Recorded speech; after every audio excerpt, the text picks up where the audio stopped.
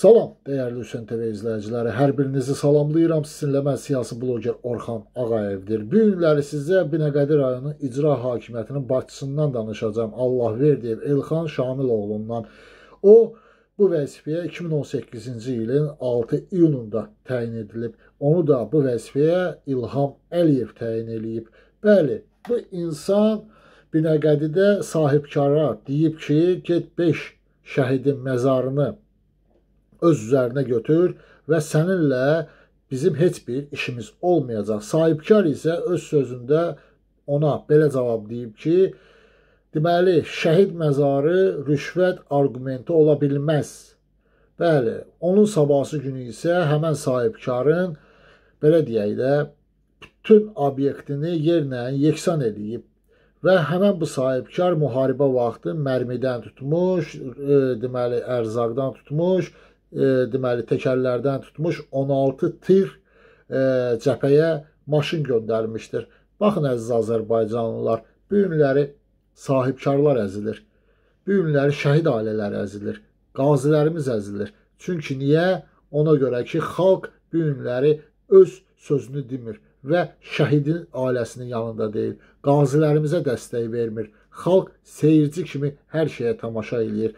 Bu vəzifəyə təyin eləyənlər kimlərdir icra başçılarını? Təbii ki, İlham Əliyevdir. İlham Əliyev biqəm bilmir ki, bu icra başçıları hamısı korrupsionerdir və hamısı insanların əmək haqqlarını öz adlarına keçirdiblər. Öz seflərində insanların əmək müqavilələrinin kartlarını saxlayırlar ki, öz balalarını yedizdirsinlər. Məgər bunlar azmış kimi hələ gedib sahibkarları da deyirlər ki, get şəhid məzarını sən təmir elə.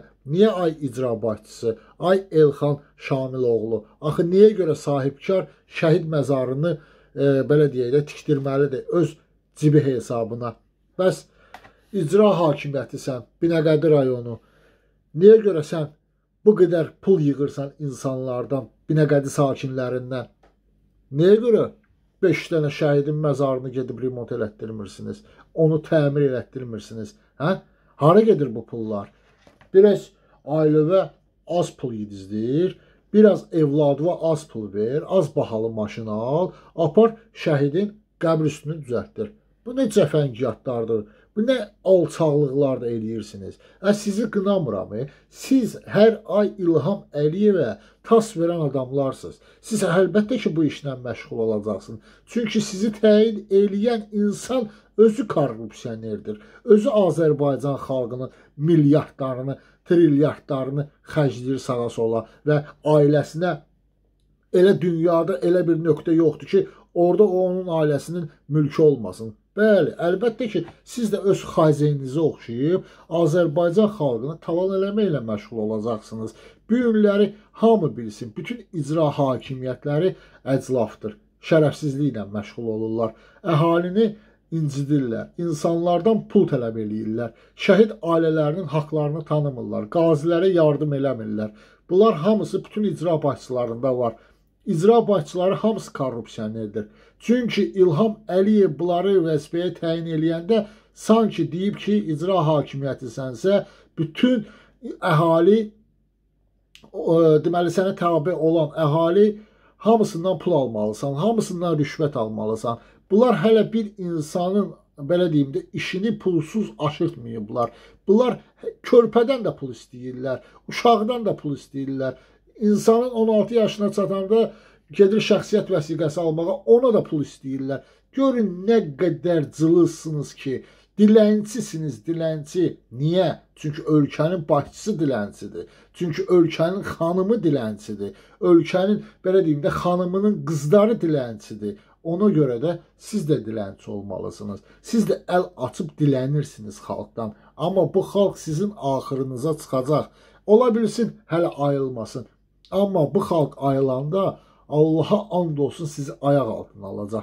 Çünki siz bu xalqa o qədər qan utdurmusunuz ki, o qədər bu xalqın zəhmətini itirmisiniz, haqqını yemisiniz, körpəsini əlindən almısınız, oğlunu aparıb şəhid eləmisiniz, oğlunu astırmısınız, türmələrdə işgəncə vermisiniz. Bax, hamısı bu yap rejiminin oyunlarıdır. Və icra hakimiyyətlərinin başçılarına səslənirəm. Ələxsusda Şamaxının, Tərtərin, belə deyim də, siz həddinizi artıq aşmısınız. Şamaxının icra başçısı şəhid ailəsini təhqir eləyir. Tərtərin icra başçısı özünə dəbdəbəli villalar alır. Deyəsən ki, ay mən deyən, niyə görə şəhid ailələrinə yardım eləmirsən? Tərtərdən o qədər qazilərimiz var. Niyə onların müalicəsinə yardım eləmirsən? Hamısı belə-belə ağlayacaqlar ki, valla büdcədə pul yoxdur. Ə, büdcədə hardan pul olsun? Büdcəni yediniz, taladınız, İlham Əliyev yedi, taladı, büdcədə pul qalar. Büdcəyə gərək gəlsin ki, ondan da xalqa səmərəli şəkildə kömək eləyəsiniz də. Büdcə ancaq sizin üçün nəzərdə tutulmayıb ki, büdcə bu xalq üçün nəzərdə tutulub. Amma nədənsə bu xalqdan mima keçirəmişə, yan keçir. Niyə? Bu xalq Azərbaycanlı deyil. Siz bu xalqa görə bu günləri o vəzifələrdə deyilsiniz, təyin olunmamısınız. Sizə nədir vəzifə verəndə deyirlər ki, bu xalqı incit, nə bilim talan elə, varını, yoxunu əlindən al, evladını öldürtdür, nə bilim hə, hədə hədə zorba gəlginə.